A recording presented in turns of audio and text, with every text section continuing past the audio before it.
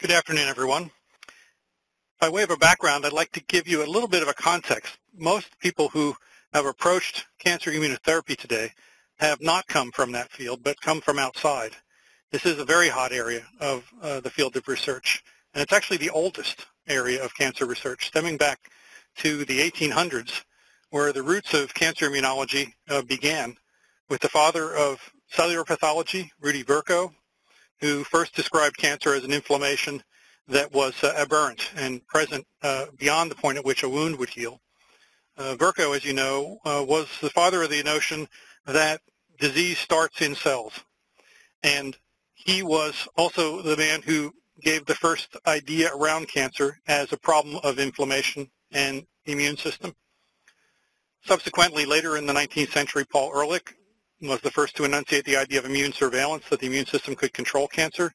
And some of the early work done by Coley in the U.S. and others around the world showed that by manipulating the immune system with infectious agents, uh, using bacterial toxins basically, patients could show uh, effects on the immune system that were correlated with uh, cancer responses, uh, even the eradication of metastatic disease in some patients.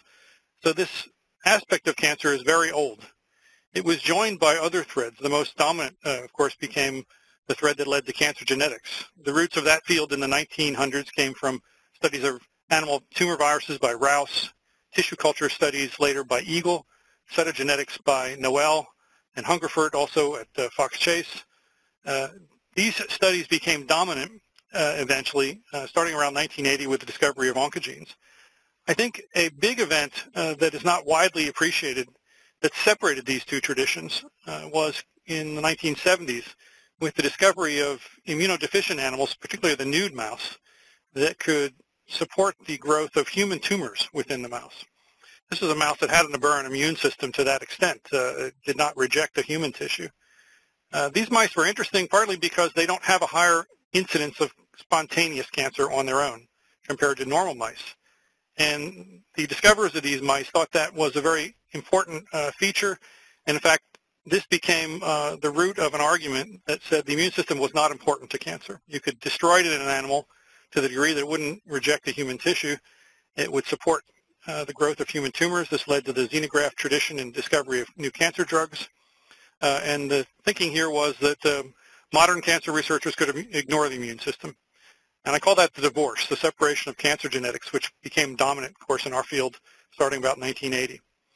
The cancer immunologists uh, were sort of sent into uh, the wilderness to some degree, and uh, this is a tradition that uh, continued. Uh, and it was not until really about 2000 when sophisticated knockout mutant animals were made that caused what I call the remarriage, the realization by the mainstream of the field that in immunology is really important and that the immune system is an important suppressor of cancer, maybe one of the most important, if not the most important. And the nature of these experiments were from knockouts of the STAT transcription factors that mediate signals from interferons, also interferon knockouts, that showed that mice lacking these genes had very high rates of spontaneous cancer. The problem, of course, with the nude mouse is we didn't know about natural killer cells back then, which were still active in nude mice and maintained their uh, normal rates of spontaneous cancer. But it wasn't until 2000 that this remarriage brought the mainstream to the realization that we all had to pay attention to immunology.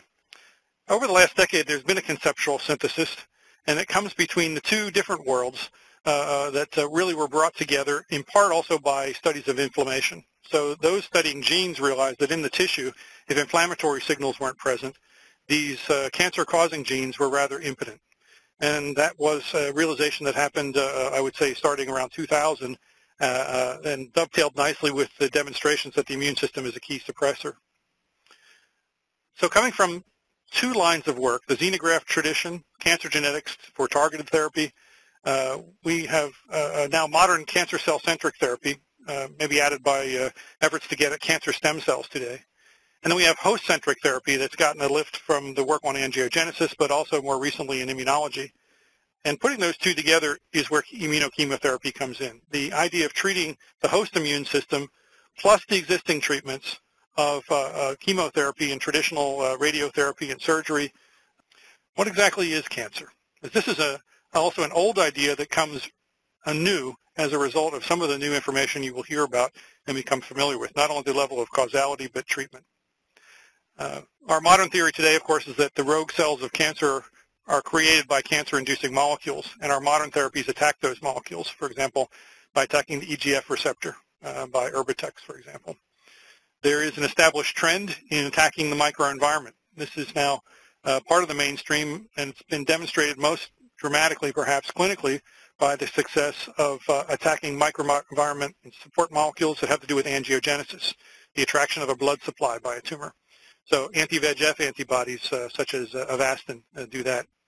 The new emerging idea, of course, which has taken the field by storm, I would say the last three to five years now, is the notion that immune escape licenses outgrowth of rogue cells. That all cancer cells must learn how somehow evolve the capability to escape the immune system. And therapies that attack escape mechanisms to restore immune control can be effective. So the first example of this is, of course, anti-CTLA-4 or Yervoy, the uh, uh, antibody that resets the self-non-self tolerance mechanisms in the body to restore what would otherwise be a tolerance and to move toward attack on cancer.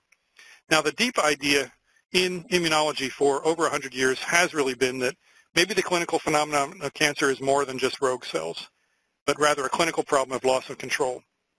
Certainly by the age of 50, someone like me uh, or even older as you get into men that are in their 60s and 70s, it's very easy to find prostate cancer. Uh, the notion that dormant cancers exist in the elderly at uh, uh subclinical levels that are not found or only found uh, serendipitously during surgery for unrelated uh, situations, that the, the problem is not so much that you have cancer cells in you, but that your body has lost the ability to manage them, and that cancer might arise from the problem of the loss of control, that that's the clinical phenomenon. That's the big idea at the root of immunotherapy. And marrying that to the attack of the rogue cells, which is what modern and established trends in our field do, is what immunochemotherapy is all about. Immune escape, that concept, as part of the traits of cancer, popularized by this figure taken from uh, reviews by Hanahan and Weinberg over the years in Cell, this is a new part of the pie, if you like. In 2000, when Hanahan and Weinberg first published this uh, notion of uh, different traits of cancer that cancer cells must acquire, this was a part of the pie that was missing. As I say, it wasn't part of the mainstream. By 2010, it had become part of the mainstream, and it now appears that many of the mechanisms that license uh, the uh, escape from the immune system are also tied into metastasis invasion, angiogenesis, and metabolic. Now, the theory of uh, how immune escape evolves in the tumor microenvironment has been, if you like, attached as a veneer, a conceptual veneer, atop the dominant theory of cancer, which has to do with oncogenesis and the acquisition of mutated or misregulated genes. In that theory of oncogenesis, which is popularized by Bert Vogelstein and others uh, uh, in the late 80s and early 90s, the uh, normal cell is transformed to a more uh, cancerous state as a result of the acquisition of genetic mutations. Uh, also, epigenetic changes in that cell can transform it. The immune system, which is very sensitive to changes in structure of self, can detect those and eliminate them. But as a result of that selection, given the transformed plastic state of what might be a very small colony that's dynamic and regulated, uh, there is the possibility for evolution as a result of the selective pressure applied by the immune surveillance, the immune cells. That selection, which is a fundamental aspect of cancer and its main challenge, the selection for resistance, can lead to an equilibrium state where occult tumors may persist in a dynamic form that are, again, regulated but not uh, eliminated. This equilibrium state has been demonstrated in animals by Bob Schreiber, and uh, it correlates, uh, it's been suggested to the phenomenon of tumor dormancy, a clinical phenomenon that surgeons have noted for years. This was a controversial area itself until the late 1990s when it was shown that cured cancer patients could uh, still sustain cancers in their system uh, um, that were actually obtained uh, from uh, an organ transplant. So the organ transplant recipient would come down with a cancer. It could be shown genetically that that cancer actually came from the donor, even though the recipient had been cancer-free for 15 years after the transplant. So this notion of an occult tumor that can persist and be present but not be a clinical problem has been proven in humans as well as in mice now. With further iteration of selection for immune resistance, uh, various mechanisms that are selected. Eventually, you might achieve a state known as escape, and this would be the state at which the dynamic, dynamic but dormant tumor uh, then uh, can begin to get on top of the host. Uh, gradually, the seesaw begins to tilt to such a state that it's possible for malignant cells to begin to accumulate and form a clinically detectable problem, initially locally, but ultimately in a disseminated form. The modifiers and microenvironment are very critical to the late stages of this process, the crosstalk between the setting of the tissue and the host, uh, genes that don't necessarily drive the disease so much as modify its outcome, the bandwidth on the internet uh, information, if you like, as an analogy here. Those modifier genes and the microenvironment in which that tumor arises, especially its immune microenvironment, become the dominant aspects of whether the genes that started the story actually turn out to be that important late.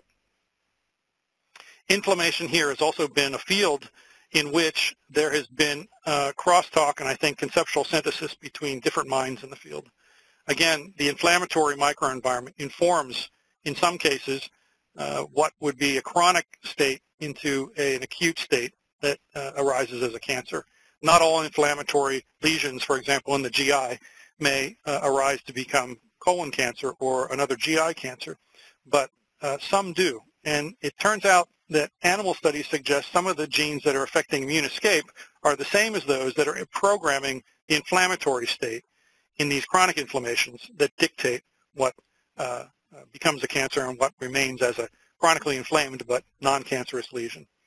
So the insights we're obtaining from the marriage of immunoediting, this new theory of how immune escape evolves, with the more traditional and established uh, uh, uh, model of oncogenesis are leading us to these deeper insights that immunochemotherapy will take advantage of.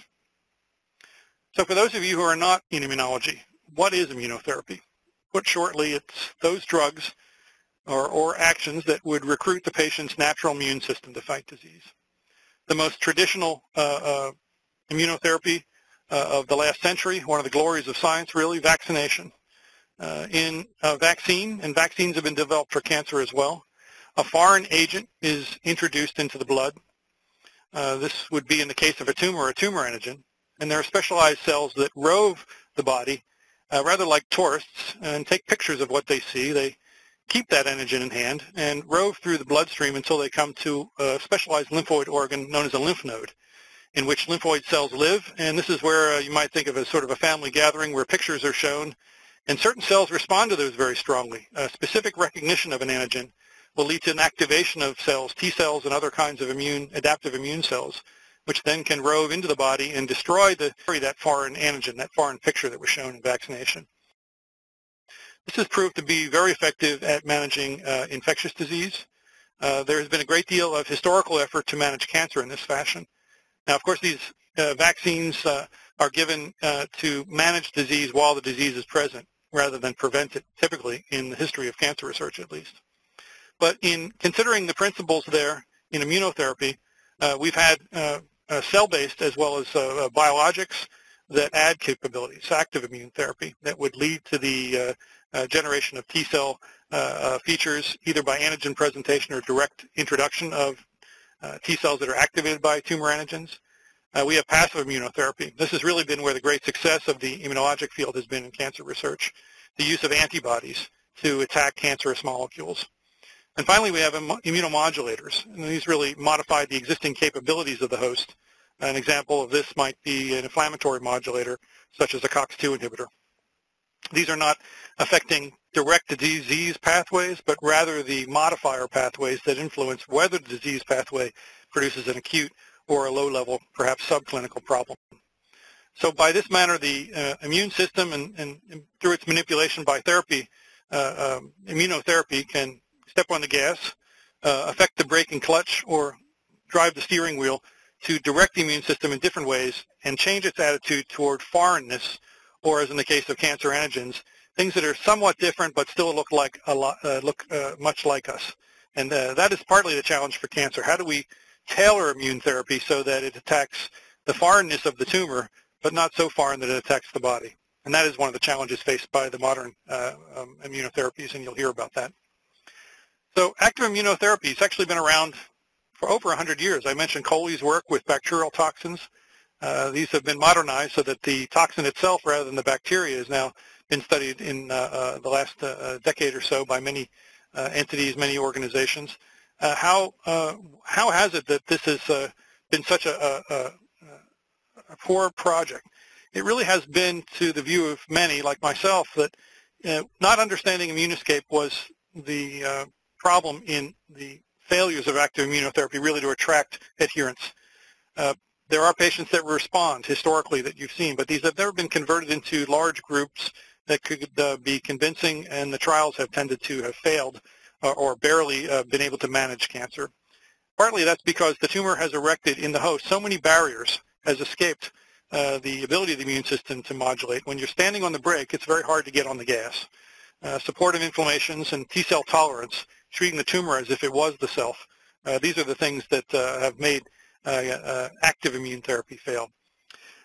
I'm going to now turn and tell a little bit some of the most exciting work in the field that has really penetrated in the mainstream, especially on the clinical uh, in the clinical sphere. And this takes advantage of what have been called checkpoint therapies uh, that activate T cell responses. As uh, many immunologists on the call may know, APC or antigen presenting cells uh, talk to the immune system, activate T cell responses in two fashions by showing the antigen in a special context of a molecule called major histocompatibility uh, to T cell receptors that are specific for that. And as a result of that engagement, uh, they are potentially activatable if a second signal comes along that stimulates what are called co-stimulatory receptors. Those two signals can trigger adaptive immune responses. The checkpoints are really co-regulatory receptors that do not engage the receptor in a positive fashion, but rather in a negative fashion. Uh, they tell the T cell, okay, you saw your antigen, but become tolerant to it. Don't become hostile to it. Uh, these immune checkpoint uh, uh, uh molecules, such as CTLA-4, uh, are those that are, have been attacked by the early therapies. I want to say a little bit more about checkpoint molecules just to point out again, give you a, a, better picture of what's going on in this realm where there's so much activity in the field. Uh, the antigen presenting cell uh, providing a specific antigen that a T cell can recognize in a certain context that is influenced by positive and negative regulators from signal 2. Uh, there's a large variety of these, and as I mentioned, uh, a great deal of the work is going to involve a focus on these molecules that are approved as targets for uh, immunotherapy. Uh, the immunochemotherapy of the future is going to have a lot of parts, a lot of moving parts. It's going to involve the destruction of the rogue tumor cells, the way we traditionally have done it with chemotherapy and radiotherapy, uh, but also the way we do it now with targeted therapies that are personalized to the mutations in the cancer. But those will be combined with checkpoint pathway inhibitors, such as Yervoy or the PD-1 inhibitors they will be combined with immunomodulators such as IDO inhibitors or adenosine modifier, pathway modifiers. They will be uh, used in cooperation with adoptive cell therapies or vaccines. For example, in resected patients that receive adjuvant immunochemotherapy, uh, vaccination may help keep them out of the woods longer. And we'll hear from the vaccine uh, experts about how uh, prophylactic use as well as treatment uh, may be a part of future immunochemotherapy. So uh, with that, I think there's a lot of optimism for the future. This is uh, now the end of my presentation. Uh, I will entertain some questions from uh, the participants of the webinar. But uh, before we go to that, I'm going to hand off to my colleague uh, at Abcam, Karen Sharma, who will give a short presentation from the sponsor. Karen. Thank you, Professor, for such a clear presentation. I'm sure that there'll be plenty of interesting questions at the end. At this time, I would like to take just a few minutes to highlight products and resources that we hope will be of interest and that can help accelerate your research. Abcam Simple Step ELISA kits are designed to improve workflow over traditional sandwich assays. Simple Step ELISAs use a proprietary technology that saves time and increases reproducibility of protein quantification by only requiring one wash step. The entire analysis is performed in under two hours, bringing this to 50% less assay time than the standard ELISA. A vast selection of human and mouse analytes can be quantified using the Simple Step ELISA platform. Below are a few human targets that may be of interest for researchers studying cancer pathways or the tumor microenvironment. Our list of simple step ELISAs continues to grow, and to see what we currently have available, please visit us at www.abcam.com slash simplestep. Our tissue slides and tissue microarrays are useful for the identification and localization of RNA or protein in both normal or disease state tissue samples. Tissue slides are available for a range of disease states from various organs. Slides are available from a range of species including human, mouse, and rat. Human fetal slides are also available. Slides are from formalin-fixed, paraffin-embedded samples and approximately 5 micrometers thick. Tissue microarrays containing up to 228 tissue samples per slide are also available, allowing high-throughput analysis of RNA, DNA, or protein expression. Our microarrays are also available from human, mouse, and rat tissues. Tissue arrays contain both disease states and control cores, with pathology and grading of cores available in protocol booklets. IHC control arrays are also available. All tissues are fixed in 10% neutral buffered formalin for 24 to 48 hours and cut fresh upon receipt of order. To learn more about these products, please visit www.abcam.com slash IHC. To help with your research, AbCam has recently launched a collection of interactive pathways designed to help you find products which work together to elucidate a particular pathway. Below are just a few examples of the many interactive cancer pathways that can be found on our website. If you look at the T-cell activation interactive pathway in more detail, you can see the full signal transduction of T-cell activation starting from stimulation of the T-cell receptor by an antigen-presenting cell all the way to the appropriate immune response. If you would like to focus on a particular protein in the pathway, such as ZAP70, simply click on the protein in the diagram. This brings up a listing of the current ZAP70 products in our catalog that can then be categorized by the product type filter. AbCam has a growing library of resources dedicated to cancer research. To view AbCam's complete collection of interactive pathways, please visit us at www.abcam.com slash interactive pathways. To look for protocols, content, webinars, and literature, please visit us at www.abcam.com slash cancer. And if you'd like more information and resources on the tumor microenvironment, please visit www.abcam.com slash tumor micro. If you would like to learn more or refresh your knowledge on different types of techniques and applications, watch our archived webinars at any time that suits you with our online webinar library. This can be found at www.abcam.com slash webinars. Thank you. Thank you, George and Karen, for presenting today. Well, if you have any questions about what has been discussed in this webinar or have any technical inquiries, our scientific support team will be very happy to help you, and they can be contacted at technical at abcam.com. We hope you have found this webinar informative and useful to your work, and we look forward to welcoming you to another webinar in the future. Thank you again for attending, and good luck with your research.